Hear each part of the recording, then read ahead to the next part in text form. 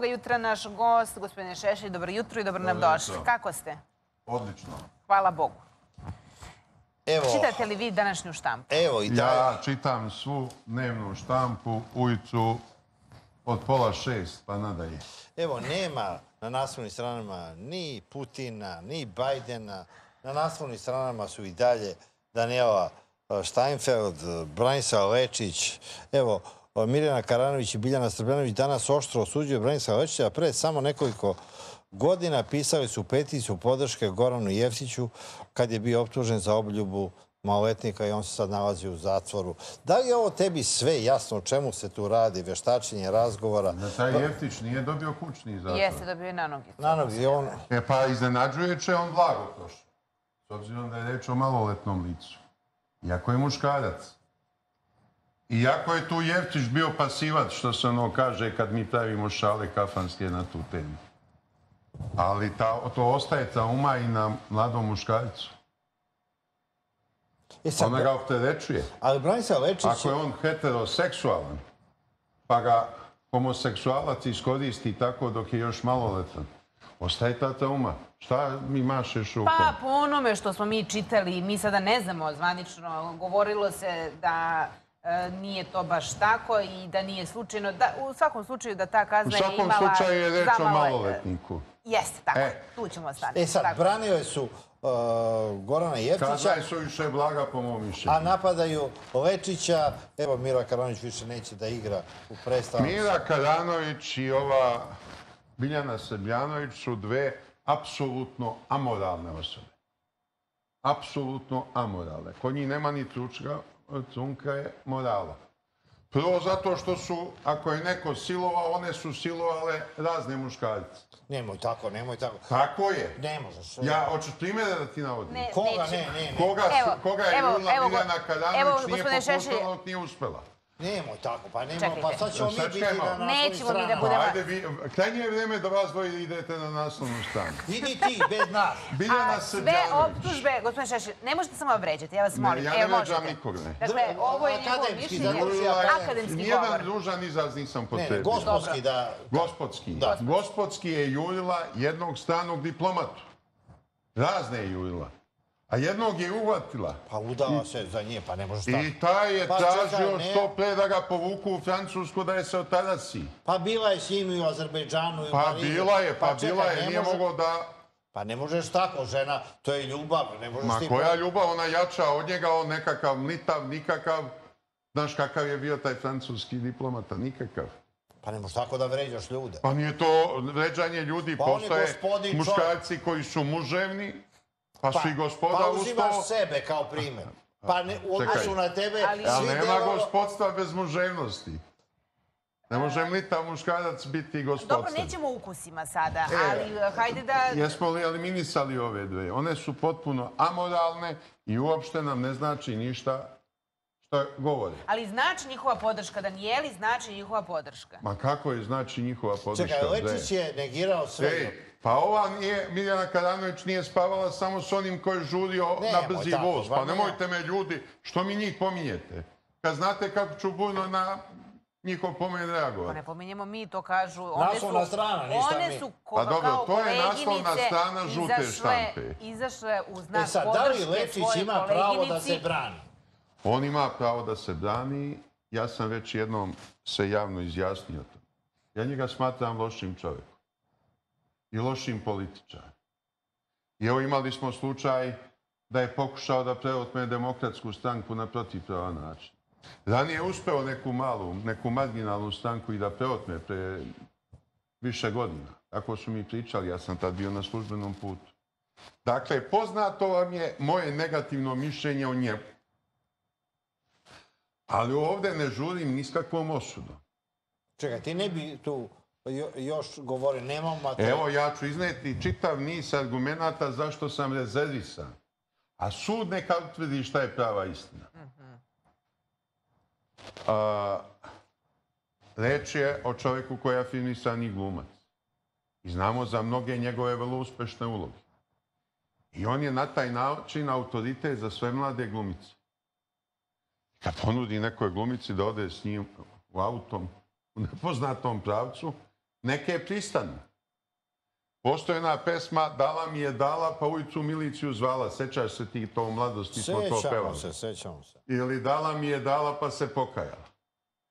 Šta je moguće, na primjer?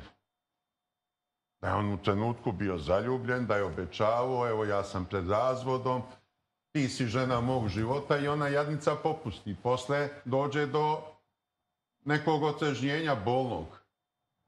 Sutradan, posle dva, tri dana. Mi vidimo, postoji neki razgovor posle nekoliko godina između njih dvoje. To je bilo pre devet godina, valj.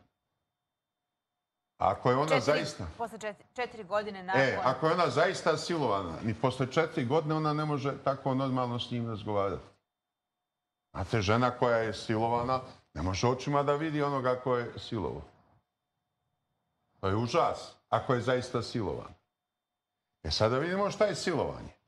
Ja sam to učio kad sam bio student pravnog fakulteta. Imao sam predmet pravna medicina koja se sastojala iz dva dela. Sudske medicine, gde je učbenik bio iz Beograda korišćen, i sudske psihijatrije sa psihopatologijom, gde je autor bio profesor dr. Nedo Zec. Zaboravio sam ime, nažalost, autora sudske medicine. I postoji pet materijalnih dokaza silovanja. Povrede na žrtvi, povrede na nasilniku koje nastaju zbog odbrane žrtve, povrede na ženskom polnom organu, koje su posebno vidljive kod mladih devojaka. Takva je bila ova glumica, vrlo mlada devojka. Može da prođe bez takvih povreda kod žene koja je u poznim godinama, koja je nekoliko puta rađala i tako dalje. Znači, da ne dođe do povrede sluzokože. To je vrlo važan dokaz.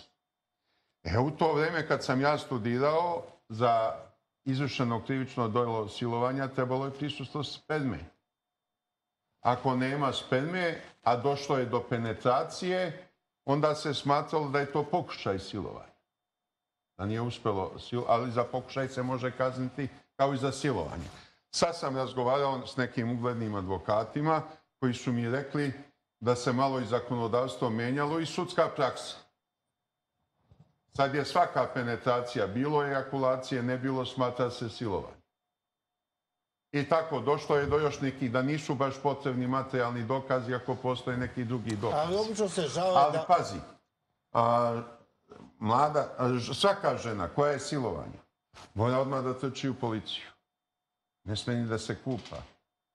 Ide, prijavi u policiju, pa kad je doktori pregledaju, kad ju uzmu brisove, tragove, sve ustanove, slikaju, i onda ide da se okupa. To žena koja je zrela, koja trezveno razmišlja. Pa ni jedna žena u tom trenutku ne može Ma nije ta baš tako da razmišlja. ni jedna. Ja znam i Nijedna. sudske prakse Ne žena, nego da i ima žena koje tako urade. I onda je dokazano krivično delo silo. Nije to Ali- naivno ali krivično nije- delo. nije Tu ide da se 12 silovanje godina zatvora kod šale. Ako žena to nije uradila, složit ćete se, zar ne? Molim? Pa nije se to silovanje, e, da se nije dogodilo ako žena to nije uradila. Nije. je pa, Ali naravno, ovo propust te ženske osobe, ne žrtve. možemo to tako doživljavati. Ne Pa molim vas, propust. posle 9 godina. Pa čekajte, gospodine Češić, šta hoćete Zamisli kažete? Koji je sad propust? Katarina da dođe 200 žena da optuže Marića da ih je silovo pre 30-40 godina. Tad je mogao, sad ne može. Ne mogu ni ja sad uzeti da ga odmah malo odbranim. Ali pre 30-40 godina da je silovo. I je li ima dokaza za to? A eto, dokaz i njihova izjava. E sad, kako... Ti si, E, ali od ti si Danijela je rekla da ima još dokaza. reč na reč, kako... Reč na ne, reč. Ne, ne, ne, evo slušajte, mogu da vam kažem šta Da. je Danijela rekla. Um, ona se, kako tvrdi, lečila dve godine u Americi od, od posttraumatskog sindroma. E, Dobro. stres. I kaže da u današnje vreme se on može... lekarima o čemu se radi? I da u današnje vreme se on može izmeriti i dijagnostikovati i ne samo od posljedica rata, već i od seksualnog zlostavljanja. E, u odnosu na... Ona mora tu dokumentaciju iz Amerike Ona je to da priložila donese, tužilaštvu. Da se vidi da je ona ispričala psihoterapeutima da je u pitanju silovanje, da se silovanje desilo u Beogradu, možda i opisala ko je glumac, njen kolega, dobar prijatelj, kako ga ona još uvijek naziva. Ne, ona je rekla, mene je silovao moj kolega i moj dobri prijatelj Branislav Je Večić to u rekla tom psihijatrima u. Americi? Pa mi nemamo to. dokumentaciju, E, mi ne znamo. vidimo. A ona, Pa, ona to- prvo nije Molim rekla vas, ni mnogi ime. žude sa osudom. Evo, svi osobi. Ja koji nemam ništa dobro da kažem za Lečića, neću da ga osuđujem bez dokaza. I ne smemo da ga E osuđujemo bez sada, dokaza. on se nudi za poligraf. Ti, vi znate šta ja mislim o poligrafu. Meni moje dostojanstvo ne dozvoljava da se ikad u životu podvrgnem poligrafu, pa makar mi prijetila doživotna robija. Nikad neću. Postoji još jedno sredstvo koje je pouzdanije od poligrafa. Hipnoza. A nije, nije to o, primenjivo kod nas. Ko Ona, je ona je primenjiva, ne može se uzeti kao dokaz kao... kao osuđujući dokaz na sudu, ali ako kroz hipnozu stručnjak dođe do zaključka da se to nije desilo, onda je to jak argument za sud. Jer šta je ovdje problem? U slučaju silovanja, pogotovo silovanja od koga je prošlo mnogo godina, najopasnije je što najviše do izražaja do- dovodi slobodno sudsko uverenje, slobodna sudska ocena dokaza. Pa na osnovu istih dokaza jedan sudija vrlo lako može izvesti jedan, a drugi sasvim kontradiktoran zaključak. I na to treba računati, jer i sudije su ljudi od krvi i mesa. Pazite, ako je sudija neko ko ima žensku decu, odmah pomisli šta bi se desilo njegovoj deci. Ako je sudija koji ima mušku decu, onda on pomišlja šta bi se desilo da neko njegovog sina lažno optuži za silovanje. Ne zna se šta je gore. Ili nekoga lažno optužiti za silovanje. Mislim da je to gore. Ako je lažno optužen. Nego biti silovan. Dobro, za svaku lažnu optužbu, Pogotovo, e, pazite mnogi tvrde da je za to se treba snositi i krivična odgovornost, e, zato što to, e, ako se dokaže da je... U praksi se obično to... Ali gospodine Ne treba, u praksi, u praksi e, svedoci smo toga da žrtve koje jesu silovane, e, da su veliki strah imale to da prijave ukoliko je to urađeno od strane e, poznatih imena, moćnika, Dobro. političara. Upravo zato što da- u praksi Dobro, se nije pokazalo da ti, da ti dokazi neće nestati. Devet E, sada, godina. E sad gledajte ovo. Svakom je potreban Evo, određen odrasli period. ste ljudi. Ja se pitam kako je to moguće silovati ženu u autu. Nažalost, verujem da je moguće na razne Ako se načine. malo žena brani i otima. Ne malo, Daniela izjavila, pritom moramo da samo... Ona je izjavila da je govorila ne, ne, neću, I da je, neću da i da je je mlatila plakala. rukama dokle god je to mogla. Pa znam, ali trebao je imamo, neki- juž- imamo izjavu Branislava Lečića Neki je trag juče. morao na njemu ostati ako se ona branila. Da E, mu počupa kosu, da mu e, da ga ogrebe po licu, da ostanu tragovi njegove ovako, kože pod njenim možda je tako. tada- možda sve- nema sada to. To se sve istražuje, Ali, to forenzičari... Moramo kažemo i drugu stranu. E, Branislav Lečić je juče e, se oglasio u dva, tri navrata na društvenim mrežama i neke medije gde je rekao da polako ljudi, e, ovo je gnusna laž, neko želi nešto mi napakuje. Međutim, onda se u jednom e, video snimku koji je snimio rekao da sa ovom glumicom nije imao nikakve intimne odnose. Nikada.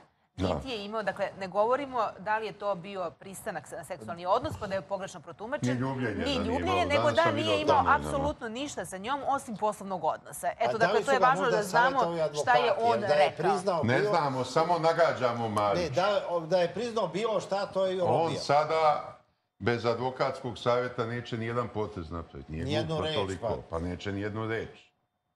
Ishodno A, tome rekao je da će se pojaviti, da će se Nije pojaviti ni u ona javnosti izašla nepripremljena. nakon što dobije tužbu od... Jeste, ali kako će... suda, mene ne se od najviše interesuje kako će sud iz toga isplivati. Teško je dokazati I na osnovu čega? Teško- Teško je dokazati. silovanje i kad... uh, Pa blago- postoji sudijska savez, znaš, I kad ti nekoga osudiš na dugogodišnju kaznu zatvora, ne možeš ni ti onda mirno da spavaš. I kad blagovremeno žene prijave, uh, to je uh, još novo silovanje u sudnici. Uh, mora žena bar malo da se brani. Ostanu tragovi da se branila. Ja sam ti rekao, ogrebe napadača. Pa ostane tragova kože ispod noktiju. Pa se forenzičkom analizom ustanovi DNK čiji je. Pa se onda sperma pregleda. Izvuče Dobro, mi to DNK. govorimo o idealnim uslovima. kada ništa o se- idealni Kada se nego- prijavi odmah nakon, ali mislim, žene su ja pod ne mogu, stresom. Pazite jednu Žrtve, stvar. Možda sam ja žrtve. staromodan. Možda sam ja neko ko je mnogo konzervativan. Čini mi se da nisam. Čini mi se baš da sam liberalan. Ali ne mogu da zamisliti, zamisliti da se bez upotreba, upotrebe oružja sprovede silovanje bez ikakvog aktivnog otpora žrtve. Jedino ako je žrtva omamljena, uspavana, drogirana, ne govori ona ništa o tome. E onda je moguće da ne zna šta joj se desilo, da ujutru samo vidi tragove silovanja. To je onda moguće.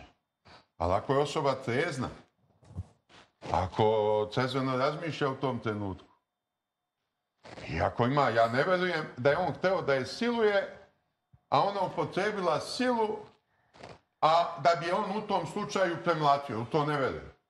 Ali, To je već gadno. ali ti vidiš da je to jedan, je jedan, tako? jedan trend, e, to je jedan pokret mi tu u Hollywoodu, najvažnije, Eno, najslavnije. Trumpa su optuživali da je pre 20 ili 30 godina silovo neke...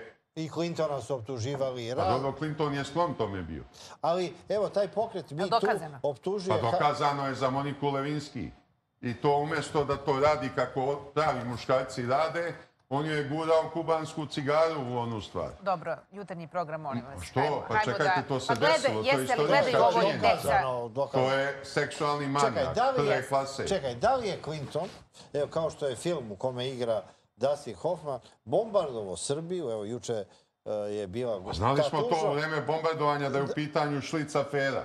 Tako smo to mi zvali mi, čekaj, mi smo stradali zbog Da se njegovog skrene pažnja javnosti sa njegovog napastovanja hollywoodski film je o tome snim. službenice u Beloj kući. I on e, u tom filmu... Nismo gledali taj film, jesmo li Marić? e, pa ne znam da si bio na službenom putu. A, Predsjednik Amerike ima aferu sa službenicom Bele kuće, otkrivaju ga, velika afera i on da bi e, zabašurio stvar kreće da bombarduje neku zemlju. Praktično sve Pa ono to što je. se nama desilo. Pa to je. To smo znali tada i tad smo to zvali. Čekaj. Zvali smo ovde, sećam se dobro, šlica aferom. Čekaj, to je Milošević znao. To je, Pa jeste. I Milošević je koristio taj izraz. Milošević, Jeste. Šuica afera. Šlica afera. Da, to ne, da mi nismo bombardovani zbog politike To je bio i razlog. Kosova, nego To je bio Monike razlog. Levinski. To je bio, jesu neki bili potplačeni, kao ona što je bila ministar inostranih poslova, što je Vuk Dašković ljubio u ruku, Malen obred. Madeleine Albright, Da bi ti poljubio nekad Malen obred? pre bi se ubio. Ali Vuk Dašković je nešto drugo, znaš. To je čovjek bez časti, bez karaktera. Je gledaš seriju tako njegovu? Gledam, nažalost, potrošene su velike pare da se to snimi. Dobri su glumci, angažovani, ali serija na istorijsku temu mora da odgovara istorijskoj ono istini. reči kralja Aleksandra ili Vuka Draškovića? Poznaješ ga čoveka? Sve su ono reči Vuka Draškovića. I posle, od nastavku knjige, uh, kako, kako je nastavak i grob i rob, Da. on se uživa u ulogu kneza Pavla. Čekaj, on, on je jed, jedan put Draža Mihajlović, jedan put je kralja... Vidi, evo šta je uradio u romanu Draži Mihajloviću. Pa mislim da to nije baš toliko bio loš roman, ali nemamo ni jedno istorijsko svedočanstvo je da je Noć Draža generala. bio tako fizički mučen i da je batinama zapravo ubijen. To, ni- to nam još se niko nije pojavio s tim, ali eto, možda je to njegova umetnička sloboda. Ali on je pre toga bio u zatvoru u CZ-u, posle onih demonstracija. I tamo se zatekao i Milan Lukić. I Milan Lukić kao vrlo komunikativan čovjek, znaš, brzo se približio s onim stražarima, preuzeo na sebe da riba hodnike, pa komu je bilo zabavnije nego da sedi u ovoj čeli i najđe na Vuka Draškovića. Vuku samici kuka, jauče. I onda mu on donese tešnje. I to sve trešnje što je dobio, dva kila tešanja, valjda. I Vuk te svoje tešnje pripisuje Draž, Mihajloviću da je Draža u zatvoru je najviše Milan volio Lukić tešnje. koji je e, optužen za najstravičnije zločine. E, pazi, on se vrlo nekorektno opodi prema Lukiću. Dok je bio u zatvoru, brate Milane. I Njemu trešnje, smetalo I, č- i teši i sve ostalo što mu a je onda donosio. trešnje prebaci Draži Mihajlović. Jeste, a to mu nije smetalo. A posle kad je objavio onaj roman Meta, onda se on čudi kako je to veliki zločinac, veliki zlikovac, on se našao s njim i tako dalje. Kao čovjek vrlo loš, ljigav. Ko je rekao svaku Jugoslaviju mutnu maricu? Ti, Vuk Drašković uh, ili uh, Vladika Atanasije Jeftić? Ja mislim da je to neko ranije rekao. Ne bi se mogao setiti. Ja nisam, a nije ni Vuk Drašković. Možda je Atanasije Jeftić, ali nisam siguran. Ja sam nekad bio u bliskim prijateljskim odnosima sa Tanasijem Jeftićem, dok se on nije priključio onom deposu 1992. godine i učestvovanim demonstracijama. A 80. godina smo bili toliko bliski da sam ja moje zabranjene knjige skrivao u njegovoj monaškoj keliji u zgradi Patrijaši.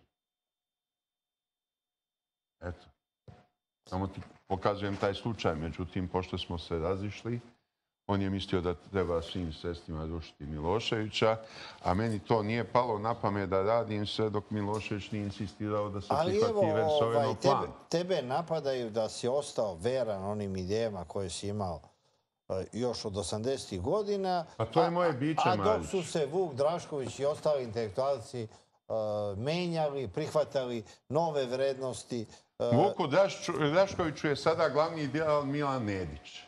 Zašto Milane? On zamišlja da bi mogo uskoro neko da okupira Srbiju, Amerikanci ili NATO i da se on postavi ulogu kvislinškog predsjednika vlade, da bude snisodljiv prema okupatoru, da gazi sobstveni narod. To je osnovna njegova ideja vodilja od 1991. godine na ovam. Ali e, čak... Pazi, on u ovom romanu, valjda u ovom romanu o knezu Pavlu, čak kaže u avgustu mesecu da se cedi sok od mandarina. Aj ti nađi mandarine u avgustu mesecu. Aj nađi. A čekaj, on svoje ideje ubacuje i e, knezu Pavlu i kralja Aleksandra. Ubacuje i svakakve gluposti. Ima je on takvih gluposti i u romanu Nož. Naš u romanu Nož ima jedna scena, ja sam mu to govorio ovako privatno, nisam govorio nigde javno, koja je krajnje neuveljiva. On opisuje kako su neke Srbe Ustaše pobacale u zelo žito i kako su krenule da kose. I kako su kosili žito, tako su Srbima glave oce. Pa dobro, to je umetnička sloboda. A to je nemoguće. Ali to je u romanu moguće. E, a to može u onim filmovima o starom Rimu gde se ljudi zakopaju u zemlju pa im samo glava vidi. Pa su imali one sprave u arenama koje su išle i sekle glave. To je tamo moguće, ovde to nije moguće. Pa tako su Milovana Brkića u Surčinu stavili u neki šakt i onda su kolima htjeli da mu odseku glavu. Ma nisu, bre. Možda su ga stavljali u neki šak, ali mu nisu, da su htjeli da mu seknu glavu, odsekli mu bi mu glavu. Evo, sada e, si posle nelju dana gost ove emisije. Prošli put e, e, si razgovarao sa Vukićem, čovekom koji negira zločine u Jasenovcu, koji govori da je samo ubijeno 1200 ljudi i on je triumfalno, kad se je vratio u Hrvatsku, objavio kako je u sred Beograda pobedio i tebe i nas, voditelje. Ne, mogo je da pobedi tebe i Katarinu, mene nije pobedio. Mariću, pogledaj kolika je gledanost te emisije. Na ovom sajtu Vojvoda Šešelj 120.000, a na vašem Happy sajtu oko 60. Eto. I šta kažu Znači, ljudi? skoro 200 200.000 ljudi Šta gleda. kažu ljudi? Ko je pobedio? Kažu samo da si ti smetao. Da, zašto mi ja smetam? Evo zato što sam ja počeo stručno da ga pobijam. A stručno pobijanje se pre svega zasniva na metodološkom pristupu i metodološkom postupku. Ja sam se A uplašio. ti to nisi učio, na- pošto nisi išao na postdiplomski studij, nisi imao metodologiju društvenih nauka Ali imao sam na redovni studij. imao si onako tek toliko da prođeš. Ali gledaj, ja sam E. se uplašio da nećemo moći na ulicu da izađemo Mariću, jer bi na... pusti, to nije tačno, nije nam se ništa desilo. Izašli smo na ulicu i ja sam dobio samo čestitanja od ljudi koji me poznaju. Šta su rekli? Da nas je Pa rekli Ustaša su- pobedio u sred Beograda. Nego da sam ja krenuo pravim putem i da sam ga tu odmah u startu slomio. I on je potvrdio moje reči. Da je on samo imao ustaška dokumenta sačuvana koja se odnose na sporedne logore. I da Nema se ni jedan dok- samo za stradanje Hrvata u Jasenovcu, a Dobro, Srb... bilo je tu nešto malo Srba i bilo je bogatih jevreja. Ali najviše Hrvata, jedno kad je dao onaj dokument koliko je Hrvata u jednom prilikom otpušteno, 4000. Sve sami Hrvati, poneki Srbini, poneki i jevreji. Jevreje su uglavnom te bogate kad bi iscrpeli sve iz njih, i zlato, i novac, i sve ostalo, stali ih u Nemačku da ih Hitler likvidira. Znaš, kao malo im se savest tu budila da to sami ne rade, pošto su i tako iskoristili. A siromašne jevreje su kao i Srbe i Rome vodili u, te prolaz, u taj glavni logor koji imao prolazni karakter. Ali evo, čak Nekada se ljudi nisu zadržali ni sat vremena, odmah su vođeni na gubilište. neki su bijeni i pred Jasenovcem u... u- Ma, pa jeste. A gledaj sada, još jedan argument koji mi niste dali da saopštim, krenuo sam bio. Da su bacale Ustaše u kraške jame. Ogroman je broj tih kraških jama. Jednom ih je Ma, a- Matija Bečković sve pobrojao u nekoj svojoj poemi, sećam se dobro te poemi. Nisu, nigde Ustaše nisu vodile evidenciju koga su sve ubili. Ime i prezime ili... A hvalile su se i Max Ubrić je jesu se hvalile da je ubio milion, milion, milion i dvesta. Dobro. Ne treba ni preterivati, ali oko milion Srba su ubili. Ali zamisli, da li si doživao kao buku? Ali sam onda iznao i argumente što se tiču Bogoljuba Kočovića i Vladimira Žerjavića. I čak ovaj naš hoštapler što se bavi lažnim istraživanja javnog mnenja, Srđan Bogosavljević. I on se priključio ovim falsifikatorima istorije na osnovu statističkih podataka. Jer i Bogoljub Kočević i Že- Žerjavić uzimaju popis stanovništva iz 30 Oni smanjuju na Kad se nisu ljudi 60, popisivali... po- 80 hiljada. Ma jeste, ali nisu se ljudi bavili, e, izjašnjavali po nacionalnosti, nego po veroispovesti. A posle drugog svjetskog rata nema veroispovesti nego nacionalnost. A muslimani su se izjašnjavali najvećim delom kao muslimani nacionalno neopredeljeni. Bilo je i 700.000. No, neki kao I bilo ih milion i 531. godine i, on, i oni kažu, evo, najviše je stradalo muslimana. A koliko je posle rata muslimana se izjasnilo da su Srbi, koliko da su Hrvati, a koliko je Albanaca bilo. Znaš, i ne može se reći da su muslimani najviše stradali. Čekaj, da li je ovo revizija istorije, revizionizam? Ovo jeste revizija istorije A, to kojim čak se, ima i u Nemačkoj. koji je započeo Tuđman u Hrvatskoj, On je nastavio je na ovaj 60.000. Matori Goldstein, Slavko Goldstein, nastavio njegov sin Ivo Oni govore o Goldstein. 100 hiljada. Jeste, to sam ja rekao u onoj emisiji. I evo sad je ovaj došao do 1200. To su falš podaci. Ali ja sam ovome, što je najvažnije, rasturio metodološki postupak. I on se sa svim tim složio ovde pred vama. Ne, ali ljudi su pogrešno E, te razumeli da si ti hvalio knjigu. Kako mene ljudi... Ja sam rekao da je on ogroman trud uložio što jeste.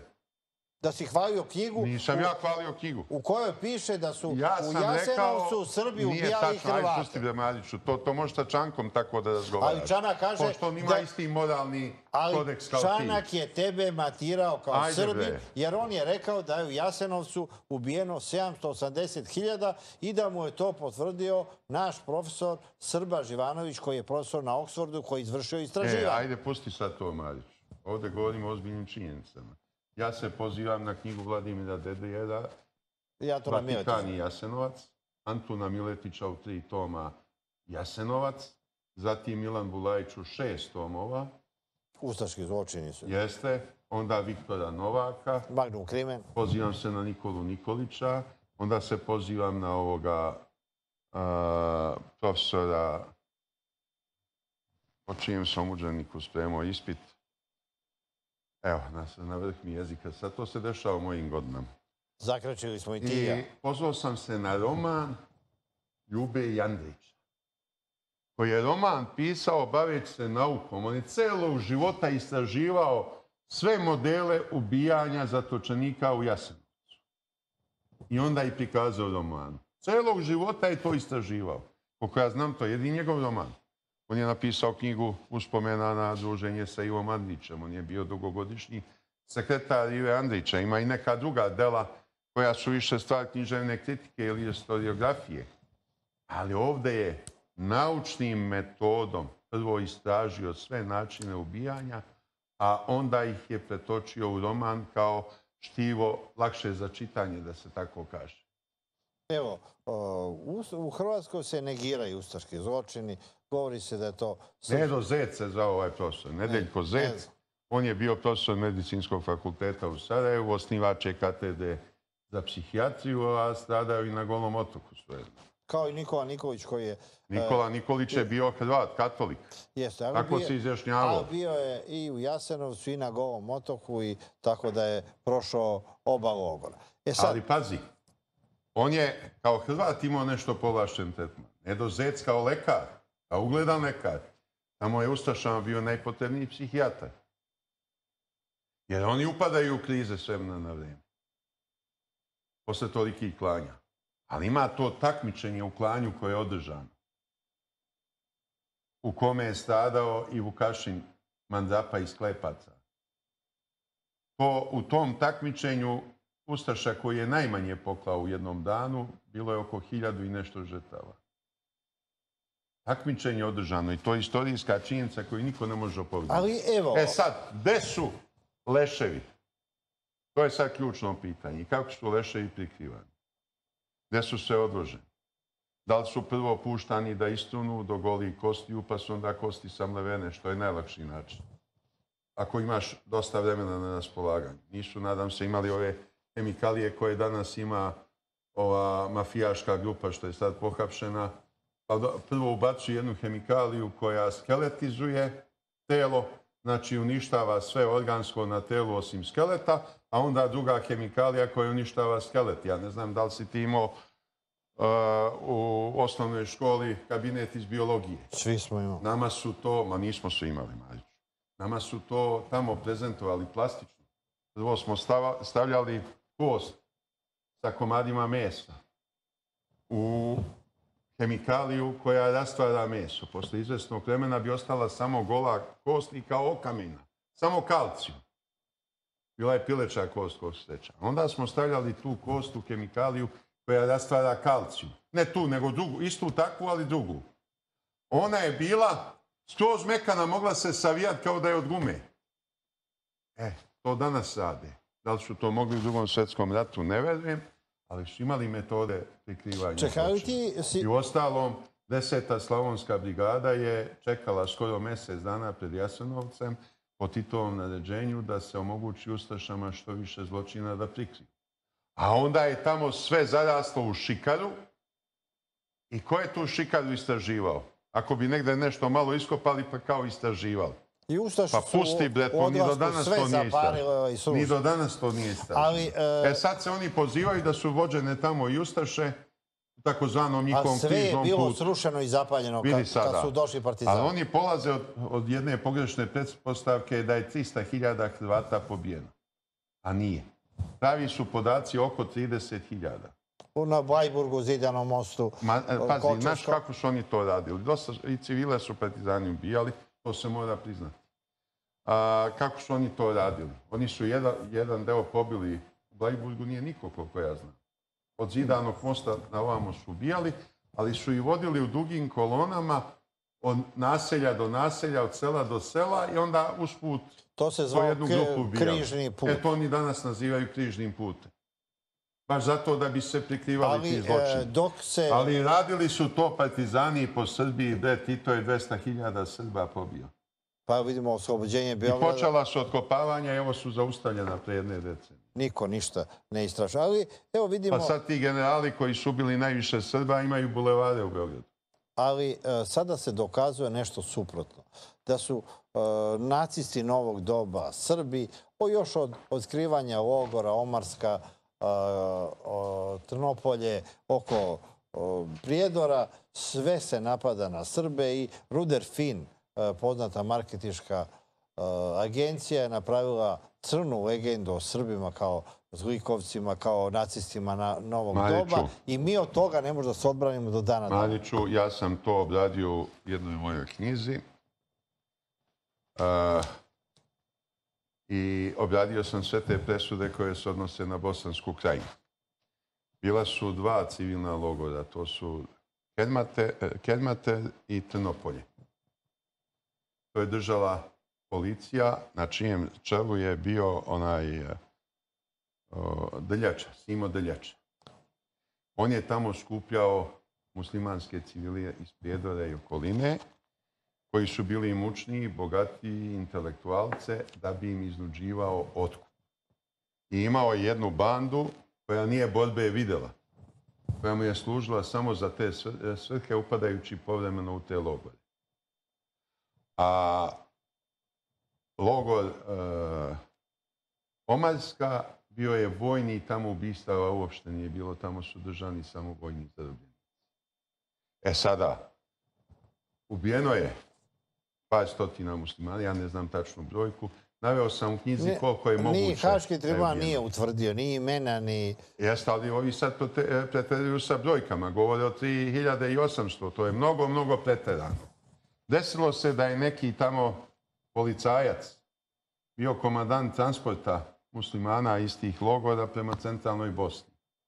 I negde kod Travnika je u neku jamu, iz, na neku jamu izveo iz dva autobusa oko 100 muslimana i pobio. Taj se zove Evo, opet mi je na vrh jezika, ima to u knjizi sve zapisano i objašnjeno. Da nije došen. Nije došao, nego drugačije. I on je onda sklopio pogodbu sa tužilaštvom, priznao i veći broj nego što je bilo. Ne možeš ti iz dva autobusa izvesti nekoliko stotina ljudi. Stotinu uve glave, pa još imaš obezbeđenje u svakom autobusu. Znaš. I on je došao da se... Mrđa se zvao. Mrđa se zvao. I on je sklopio pogodbu, prihvatio 20 godina zatvora, a onda pristao da lažno svedoči protiv drugih. I mnoge druge Srbe tamo ukopao oni kriveni dužne. On je pobegao posle toga u istočni deo Bosne, tamo ga nisu znali, tamo se priključio nekoj vojnoj jedinici, a kad je potraga došla do istočnog dela Bosne, onda je opet pobegao. Nisu naše vlasti uspjele da ga uhvate do kraja rata. Dakle, dešavalo se to. Ali treba imati u vidu da, se, da su ti logori napravljeni pre nego što je probijen koridor. Dok centralne vlasti na Palama i glavni štab srpske vojske nisu imali nikakvih ingerencija na delovima Bosanske krajine. Tamo je bio prvi krajiški korpus kojim je komandovao general Talić, ali ovo je bilo u policijskoj nadležnosti. I on nije mogao da se miješa ili da izazove sukob sa policijom. A taj deljača je bilo vrlo opasan i opak čovjek. On je ubijen prilikom hapšenja. Englezi su ga ubili. Kad su ga u Ha- Nisu mu Haag ni dali da se preda. Da, pa su mu telo nosili u Haag radi utvrđivanja identiteta. Dakle, to se desi. A ne može se govoriti o genocidu. I mnogi ljudi su nevini za to odgovarano. A, Sta, Stakić, doktor Stakić dobija još uvijek 40 godina je dobio, je bio predsjednik izvršnog odbora Skupštine opštine Prijedor, a nikad nije bio ni u jednom od ova dva logora. To niko nije, Drljača nikom ni dozvoljavao. Predsjednik opštine doktor, kako se on zvao, on je umro u Hagu, dobio je izliv krvi u trbušnu duplju, ova mu je arterija pukla stomačna, a nisu mu ukazali lekarsku pomoć nikakvu. Pa je onda Radoslav Brđanin osuđen na 35 godina, iako nikad ni u kakvom zločinu nije učestvovao. Još sud tačno kaže, mi ga ne sudimo zbog onoga što je izjavljivo, zbog usmenog delika. Nego eto što je bio šef kriznog štaba za Bosansku krajinu, kao da je taj krizni štab imao ikakve Ali, ingerencije nad Bojo, vojskom i kako policijom. ćemo mi iz te crne legende da Pa izađemo? moramo da istražujemo A- istorijske činjenice, da ih narodu objašnjavamo. Tamo gde se desio zločin ne smemo da sakrivamo i moramo i krivice javno da žigošemo, neka su sto puta Srbi. Nijednog krivca ne smemo za zločin nad civilima, nad ratnim zarobljenicima, nad ženama i decom.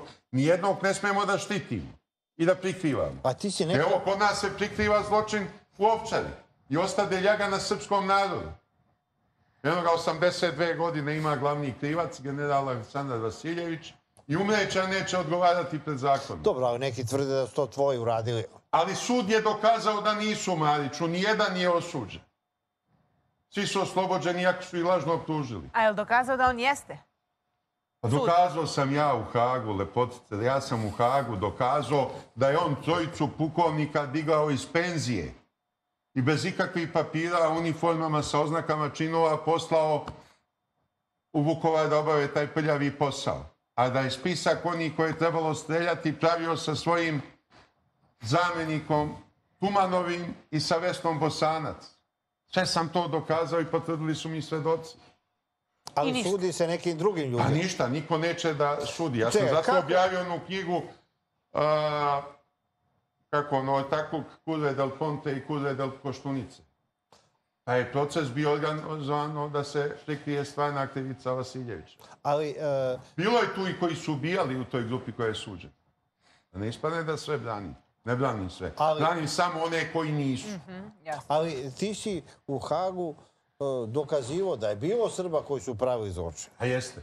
Jesi, Nisam ja dokazivo, nego ja nisam htio da branim nijednoga. a jesi sretao te ljude koji su pravili zločin? Jesam. Tog Jelasića pa razne. Pa jesam, s njim sam bio čak i u sukobu. Neko mu donao majicu Srpske radikalne stranke pa je nosio da igra futbal u njoj. Ja ga natreo da skine i htio sam da ga tuče. Čekaj, da li Pazi, ste... jedno šta je, što je to čudno? To je jedan kompleksaš, psihopata. Čekaj, on je bio Vrlo upravnik, slabe. upravnik Ma ovoga. kakav bre upravnik Mariću? Slabe fizičke građe. Jednom da sam zamaknuo, njega bi vetar doduvao. Međutim, on je navukao neku policijsku uniformu koju je gde, negde našao i sa nekom devojkom, ljubavnicom koja je luđa od njega, a nije suđena, odlazio u Brčko, u logor Luke u Brčko. I tamo niko nije smeo da mu se suprostavi. Svi su ga upozoravali da ne smije da uđe, on uđe na silu.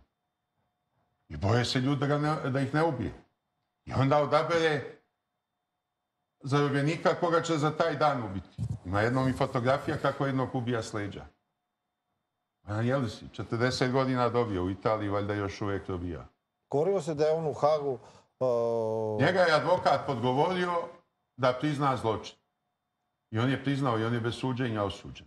Ali su mu izbacili Ha- genocid. On je A- bio optužen i za genocid. A on je napadao Slobodana Miloševića u Hagu, da mu uništio Milošević, život, da ga gađao pazi, ga je televizor. Za razliku od mene, koji sam dosta života proveo i među mangupima, i sam naučio da bude mangup, i sam naučio da bude agresivan kad treba. On nije. On je sasvim drugi životni put ima. I onda kad se ovaj na njega izgalami, on začuti. On je vređao Miloševića. Jeste, ali Da- kad sam ja došao, njega su ostranili s tog sprata. Nema. Kod mene to nije moglo da bude. Ređo ga, naravno, galamio na njega i tako. I Miloševiću su namjerno to činili, Stavili su u Jelac... stavljali kriminalce s njim, dobro, bilo i nekih normalnih ljudi s kojima je bio, ali i dosta kriminalaca koji bi ga tako maltretirali. Još jedna stvar, naš u početku Milošević imao dosta para, valjda mu dali prijatelji, dali njegovoj supruzi da odnese i šta ja znam. I onda on da ovim agupima sa svog sprata da mu poku- e, popune naručbenice za kantinu. I oni onda upisuju šta kome padne na pamet, dođe ogroman račun. Nisam rekao, nemoj bre više tako. Čekaj, su bili dozvoljeni prasići na ražnju, jaganjice? Pa to smo povremeno naručivali, nije to bilo svaki dan kao što neki predstavljaju, kao što onaj tvoj advokat iz Sarajeva predstavlja da smo pravili žurke. Nije tačno, to se naručivalo kad bi se nečija krstna slava slavila, Božić, i pravoslavni, i katolički, i Bajram, i Vaskrs, i Uskrs. Nekad je zajedno Vaskrs i Uskrs, pa smo zajedno Kako i mi ti gledaš na to Hrvati što nabavljali. se govori da ste vi u Hajatu bili u... A kom bre Hajatu? Dobro, smeštaj nije bio loš, ne mogu da kažem. Ja sam mogao svako jutro da se kupam u 7 sati izađem čim je otključaju čeliju, odem i stuširam se. Što se toga tiče, bilo je bolje nego u našim zatvorima. Hrana je bila očajna. Svi se porazbolevaš od toga. Niko to nije mogao da jede. Ko je znao sam nešto sebi da spremi, taj bolje prolazi. A mogu ste da kupite u... A mogli smo da kupimo i ko je imao para da kupi, nisu svi imali para. Znaš šta je sad problem sa ovima koji dugo ro- robijaju? I u Finskoj Nebojša Pavković i Radivoje Miletić. I Da ne govorimo o Martiću. u Estoniji gde je najgore, Kao- gde je Milan Martić, gde je general Kao da je, Milošević, ge, kao da je gde je. Milan Lukić. Najgori je taj logor gde se robija Kao da su gestapovci koji mrze Srbe. Pa u Nemačkoj je strog režim, pa Brđanin je u Danskoj, tamo je nešto blaži režim, ali da si u svili kadifi kad si u zatvoru, kadno je. Patniš, patnja velika. Pogotovo sad, kad je epidemija korone, pa su sve posete zabranjene. Čak i advokatske posete nisu dozvoljene. Evo, neki dan me zvao Radovan Karadžić, advokat mu nije bio odavno. Od kad je ova epidemija, nije mu bio advokat.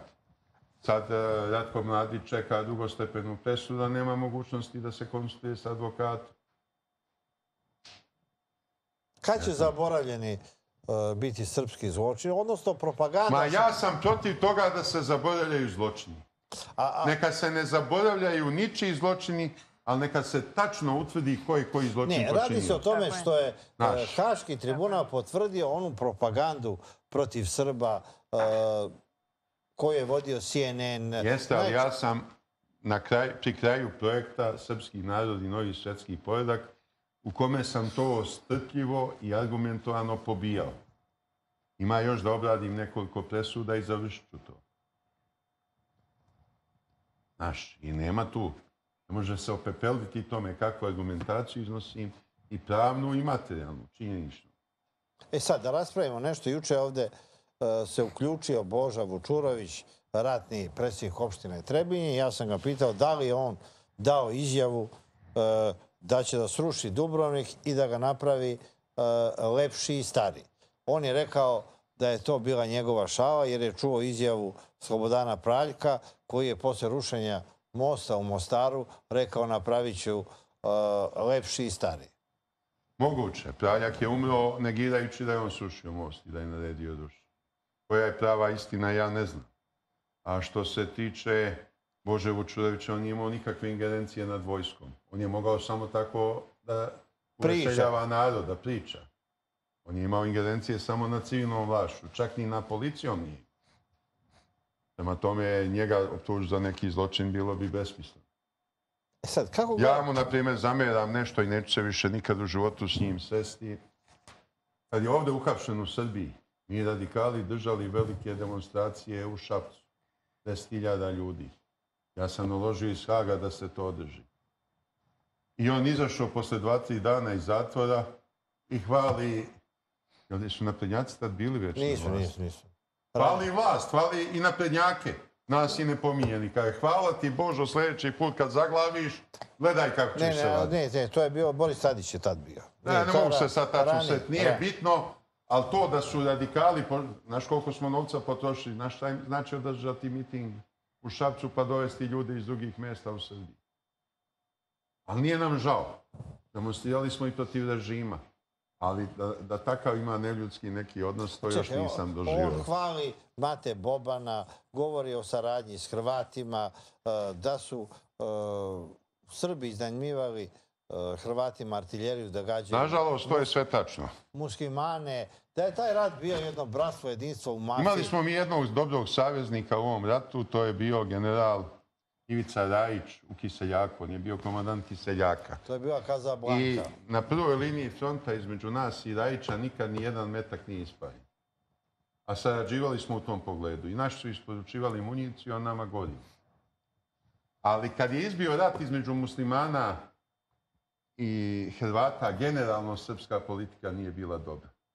Srbi su se odmah svrstali na stranu Hrvata, I spašavali rat. a trebalo je tražiti sporazum sa Evo, ja sam Izetbegovićem. gledao film, Jer da smo mi pomogli Izetbegoviću, on bi izbio na Jadranskom moru.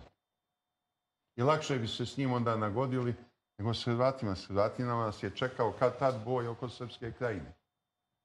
To je bio nerešiv problem. a evo, da li si vidio one snimke e, posle ofanzive u centralnoj Bosni? Mladić je primio i spasao Hrvate na Vlašiću, onda ih je potrpao u kamione, e, četnici sa bradama. Nije to bilo na Vlašiću, to je bilo ovamo na Varešu. Dobro, ali na Vlašiću je Mladić primio. E, I, Na bre Marić. i pri... Na Vlašiću se desilo ovaj mrđak gde je pobio sto Ne, a to je, muslimana to je pa je ranije, bacio to je, ran- provaliju. to je ranije bilo. Ali i sad voze četnici e, kamione, pevaju od Topole pa do Ravne gore, unutra ovi u crnim uniformama pevaju o Juri Francetiću i, Mariću. i Bobanu. Kad pa je svedočio Goran brat- Stoparić protiv mene. To je prvo svedočenje nakon onog veštaka Obešava. On je pričao u sudnici. Ja sam zbog toga njega ostranio iz redova naših dobrovoljaca i Srpske radikalne stranke je bio izbačen. On je bio jedan od onih naših dobrovoljaca koji su pristali za novac da idu da ratuju na strani Hrvata kod e, Magleja. Zbog toga je izbačen iz Srpske radikalne stanke. Bilo je toga. Dobili su velike plate od Hrvata i išli da ratuju. Neki su i poginuli tamo. Znaš, svega je toga bilo u ovome ratu. I drugo, znaš šta je tu problem? Tu ratuješ protiv ljudi koje si poznavao pre rata. Znaš kako je došlo do ovog... Pa čak i tvoji studenti su bili na, u različitim vojskama i Pa ratu. eto, Dario Kodić je bio moj student na Fakultetu političkih nauka i bio na mojoj strani kad su me tamo politički likvidirali.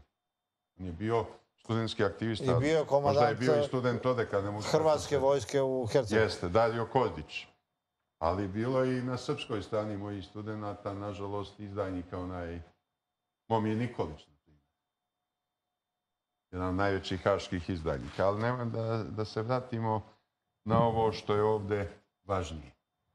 Kad su, na primjer, srpski policajci poveli grupu od 317 zarobljenih muslimana prema selu uh, Kravica. Išli su, nakon 20 Srba bilo, 317 muslimana. Išli su ulicom relaksira. I međusobno se prepoznavali, raspitivali se za prijatelje na jednoj i na drugoj strani. Svi su znali da će oni biti razmijeni. Bilo je planirano da se oni odvezu u centar za obuku specijalne policije na Jahorini i onda da se menjaju za srpske zarobljenike u muslimanskim rukama. I dovedeni su u skladište zemljoradničke zadruge u Kravici. I tamo su uvedeni u dve prostorije. I nije tu moglo mnogo ni da više, nije moglo više ni da stane, jer je neki stari automobil bio u jednoj prostoriji. I onda je jedan srpski policajac ušao među njih i raspitivao se za nekog svog prijatelja. Iznenada jedan musliman skoči, otme mu automatsku pušku, ubije ga i pušku okrene prema drugim srdima. Komandir Sečom bio priseban srpski komandir, uvati za cev i usmeri u vazduh. U plafon je ovaj posle ispalio celi rafal. E sad, vi ne znate kako je to, kako se usije cev kod e, automatske puške kad odjednom celi rafal ispali. On je spržio dlan ovome našem policijskom komandiru. I on je odatle požurio obližnju ambulantu u daljinu 2 km, valjda, da mu to previju. A ovamo stalno rasla nervoza, pa počele i psovke, muslimani da su junili u jednom momentu na Srbe. Ne može 20 Srba sa automatskim puškama zaustaviti 317 muslimana.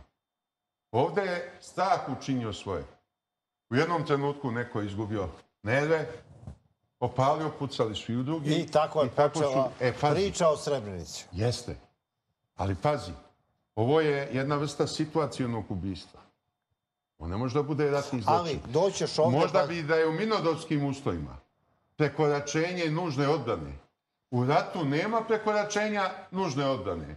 Čim ti zapreti neka opasnost ili pomisliš da je opasno, ti pucaš. Kraj. Ovo je priča o Srebrenici koju ćemo mi nastaviti. U nastavci. Nastavite vi to sa Čankom, pošto se s njim lepo družite i A on kaže da... ja- razmenjujete vaša istovetna mišljenja. Da je, ja, Pustite da, šta on da je u kaže, Jasenovcu ubijeno 780.000. Ti meni sve Da, više ličiš da. na Čanka. Eto, i ako Uopšte. tako nastaviš, do leta ćeš biti pljunuti Čanak. Čak ću jednu knjigu objaviti Milomir Marić pljunuti Nenad Čanak. Šta misliš, Katarina, da li bi to bilo uspešno? Sa tim Hit, nazivom bi najbolje prošao nego što je mogao i da zamisli. Hvala najlepše. Hvala, hvala. Svako dobro. A, u nas-